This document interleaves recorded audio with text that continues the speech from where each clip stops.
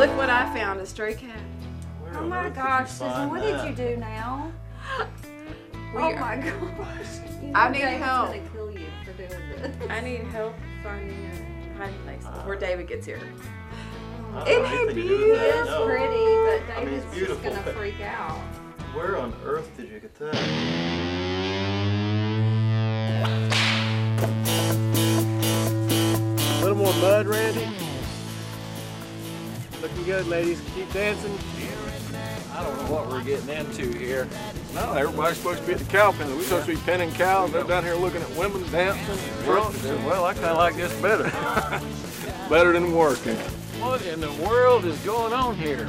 Well, um, you know that little video Chris wanted us to do for his truck? Yes, Well, it's turned into a major production. I'm not sure we should be doing it. Well, or I'll I mean, just how, take how him long home can you with keep me a to tiger in the Jitsi. laundry room? He can play with Jitsi. I'm so excited. You're so pretty, but oh Isn't my he gosh. gorgeous? He's Oh. beautiful, but. I, oh, see? He's teething. What's gonna happen when he does You that? know, and He's what are full you gonna do grown. with- He's gonna grow up and eat your head off. He's teething. And he's like, oh.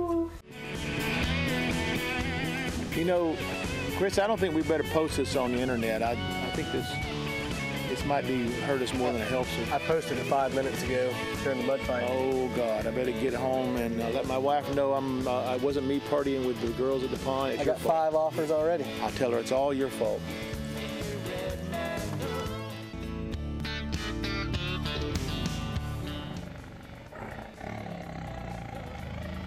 What in the world is Hey, honey. Yeah. I assume you know there's a tiger in the laundry room.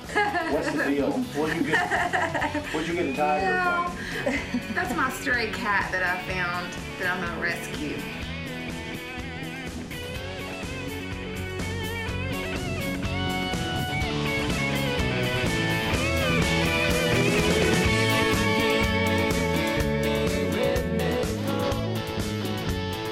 Welcome to the Honky Tonk Ranch. On the Cowboy Channel.